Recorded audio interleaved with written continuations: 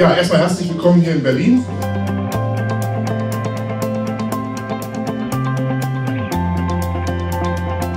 Was wir hier sehen, ist eine Anlage für den Entwicklungsmaßstab, für RD oder auch für die Klinikmusterfertigung.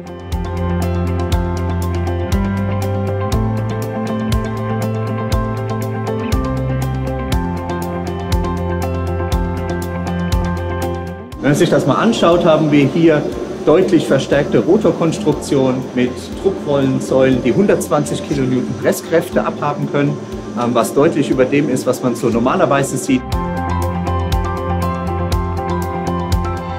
Es ist uns gelungen, hier in Berlin unsere Innovation Days nun auch nach der langen Corona-Zeit abhalten zu können. Wir haben dazu Kunden eingeladen, die wir unter höchsten Corona Sicherheitsbestimmungen bei uns ja in kleinen Gruppen durch die Firma führen. Wir haben die Corona-Zeit genutzt natürlich, um unsere technischen Entwicklungen weiter voranzutreiben.